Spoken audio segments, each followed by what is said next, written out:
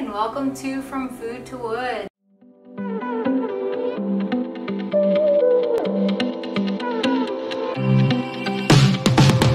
Today I'm going to spotlight some of the products that are on my website uh, from foodtowood.com. There is a link in the description below and here to help me is my daughter Emma because she is a lot less afraid of the camera than I am. So here we have two of the uh, adjustable tabletop bookshelves that are on my website and we're going to show you how to put them together and then some different things you can do to make the bookshelves uh, fit your needs. So let's put our bookshelves together.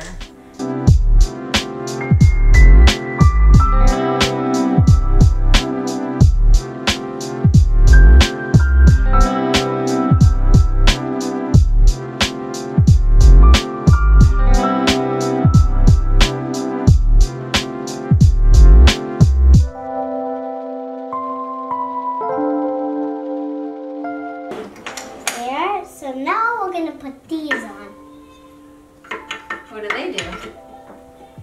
They tighten it. They tighten it. Very good.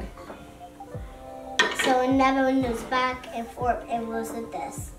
Very good. So they did not let us do that. So as you can, as Emma was explaining, one bookshelf or bookend is stationary and the other bookend moves back and forth depending on how many books you have.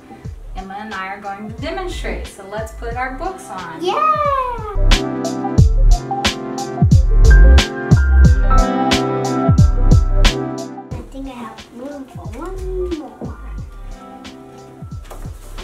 Okay, so do you guys know that you can always put this wherever you want and and you can always because you will you will initially see why you have this space. Well that's because if you want to put a big plant right here or if you want to put some oil sticks on. Some kind of decorative piece on your overhang, or you can slide the bookend all the way to the end and you have extra space for your books. Yeah, now you know how to make these. Or you can just put whatever you want right here. It's up to you. All right, so these are two of the bookshelves, and if you're interested in learning how to make them, my check out my next video is gonna be a how-to video of how to actually build them. Thank you for watching, and check out our site at fromfoodtowood.com. Bye. Bye. Bye. Bye.